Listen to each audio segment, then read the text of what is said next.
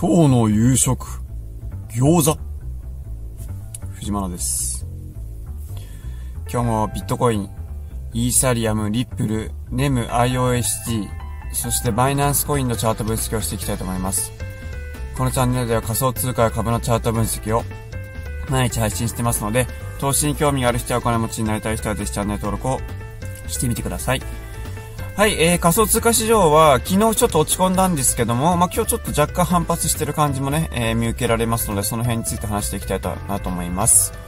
えー、引き続き Twitter や Instagram などでも投資の話やってますので、えー、ぜひ私、藤マナをフォローしてみてください。はい、えー、じゃあ今日も仮想通貨ニュース読み上げてからね、えー、6つの仮想通貨のチャート分析いきたいと思います。えっ、と、今日はですね、えっ、と、コインディスクジャパンの記事です。えっと、コインチェックの仮想通貨の土地が8分で完売しましたってことですね。ザ・サンドボックスのランドを NFT で販売しましたってことです。えー、なんのこっちゃっていう話なんですけど、サンドボックスっていう、まあ、ゲームがあるのはあるんですね。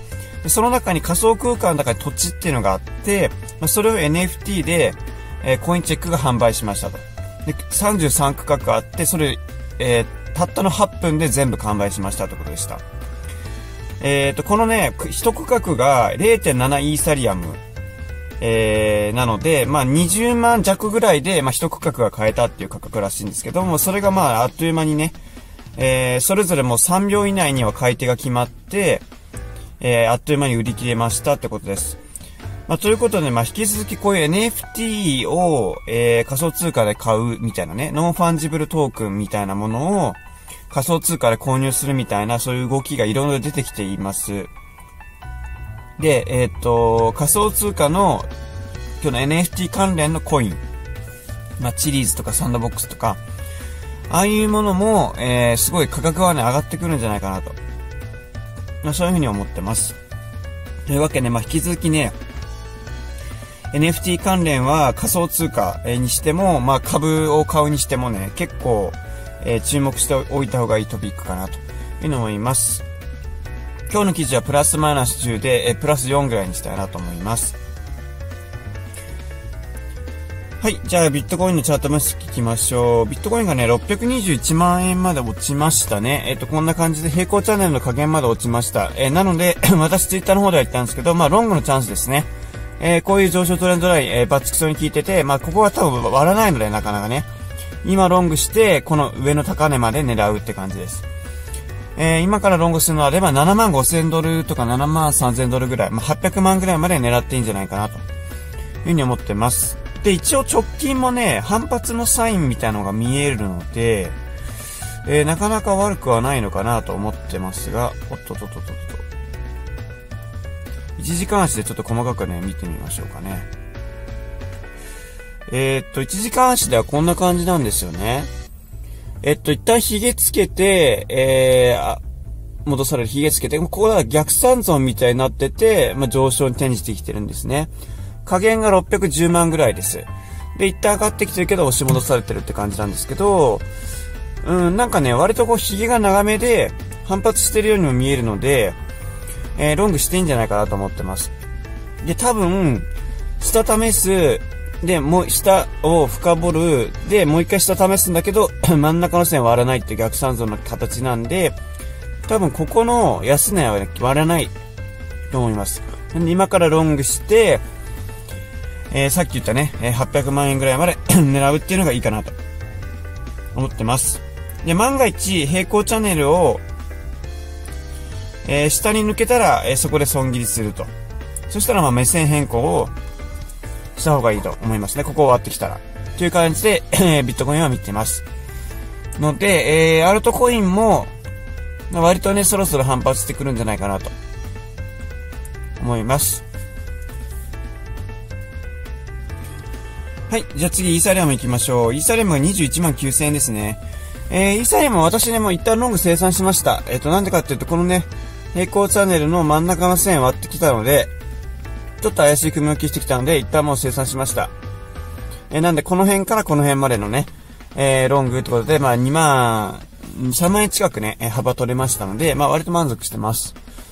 で、この後なんですけど、まあ、ちょっとね、なんとも言えないかな。今真ん中の線ちょっと割ったぐらいになってるんですよ。で、このままずるずる落ちてきて19万ぐらい落ちる可能性もあるし、この辺からなんかよくわかんない反発できて上24万とか目指してくる可能性もあるので、えー、ちょっと何とも言えない感じですね。うーん、ちょっとトレードしにくい状態。もし、下の線まで 落ちてきて、え、19万まで落ちてきたら現物は買い場です。で、FX も、まあその辺でロングしとくといいかなと思いますが、まあこのまま上がってきたらま仕方ないかなって感じ。上まで上がってきたら26万ぐらいまであるので、え2400ドルくらいまで上がってくる可能性もあると。そんな感じの状況です。ちょっとね、様子見した方がいいと思います。はい、いいサイズです。じゃあ次、リップル行きましょう。リップルがね、104万円ですね。まあ、結構強いです。なんかもうちょっと落ちてくるのかなと思ってたんですけど、えっ、ー、と、短期足で見ると、1時間足で見ると、こういう三角持ち合い形成してて上に抜けたって感じなんで、調整終わったのかなって感じですよね。だからここからまた上にね、上がってきそうな感じには見えます。こっからまた上がってくるとすると、えっ、ー、と、結構飛びそうなんですよね。えっ、と、フィボナッチエクステンションを引いてみましょう。えー、っと、62円の底から、えー、この間の121円の高値まで引くと、まあ、結構飛びそうだな。えー、0.786が141円で、えー、1が154円なんで、えー、いよいよその辺ぐらいまで飛んでくる可能性があります。で、えっと、1.618が191円とかなんで、まあ、それぐらいまでのね、えー、バック上げも あり得るかなと思ってます。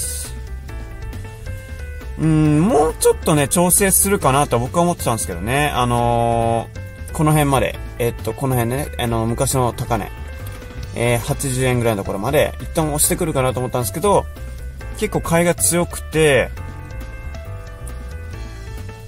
まあ、反発がね、結構強い、ですよね。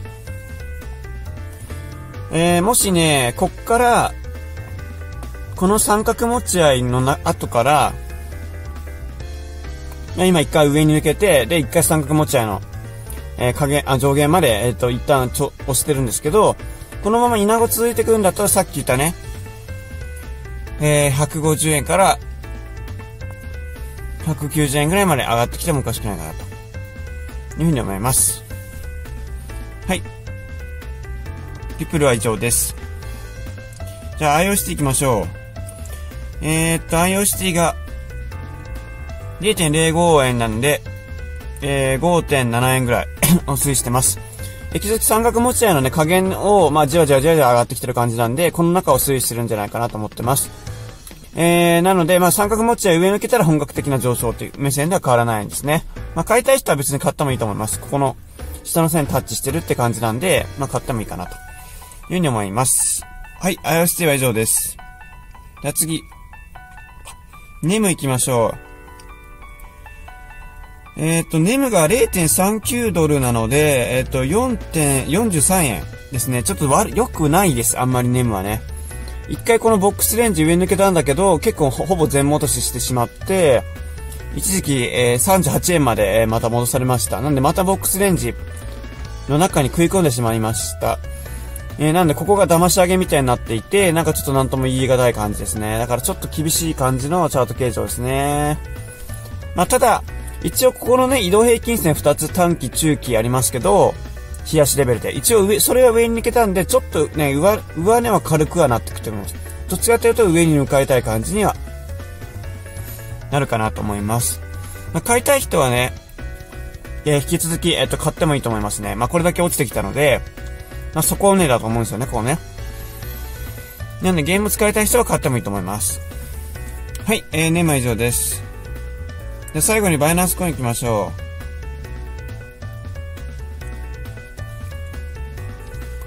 えー、バイナンスコイン ぶち上げましたね。今397ドルですよ。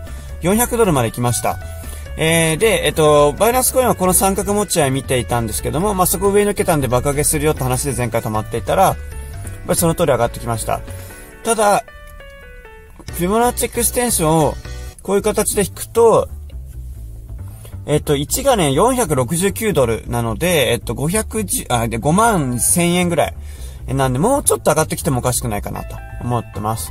予想としては5万円ぐらいまで上げてきてから一旦おしめ作って、3万5000ドルまで、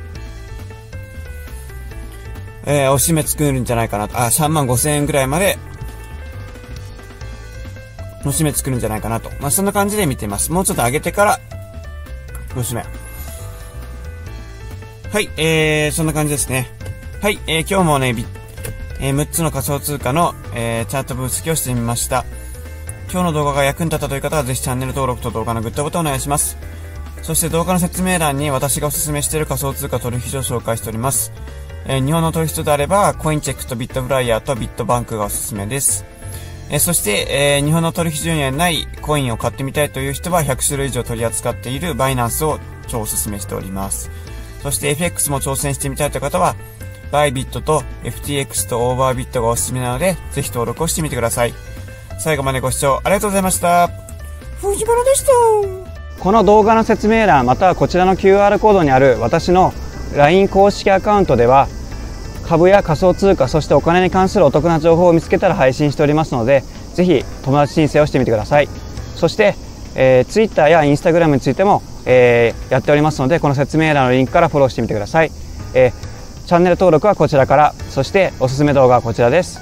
最後までご視聴ありがとうございました。藤間でした。